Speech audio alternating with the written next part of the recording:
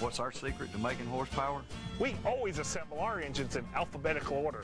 That's right. If you let the engine sit outside the car the night before the race, the engine breathes. You see, everything in here has its place. It all has a certain energy. It's that feng shui thing.